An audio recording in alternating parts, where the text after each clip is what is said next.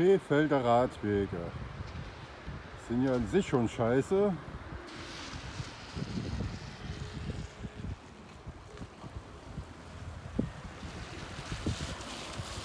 Oh, aber dafür grün.